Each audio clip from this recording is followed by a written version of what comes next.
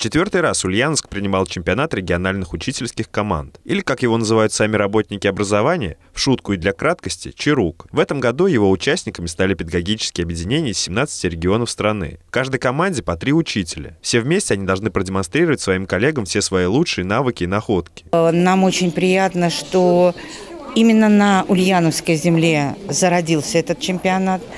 А, мы, по сути, создали а, новую традицию, новый бренд для Ульяновской области.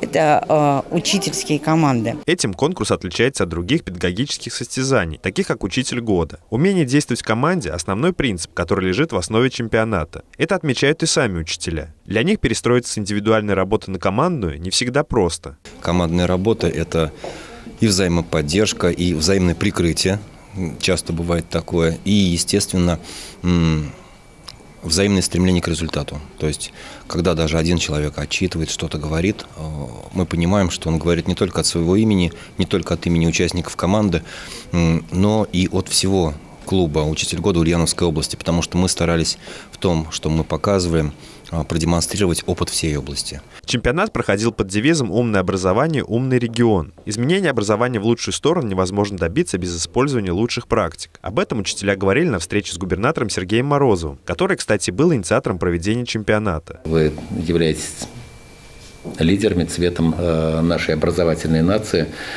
Э, но я еще раз повторяю о том, что умное образование, умный регион – это вот это уже не будущее, а настоящее.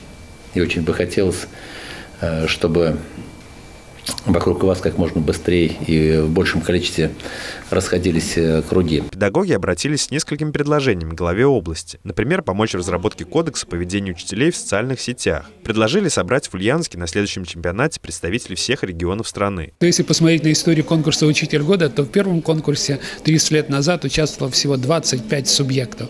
Уже несколько лет подряд, 5, наверное, лет, участвуют все регионы Российской Федерации. Нужно время.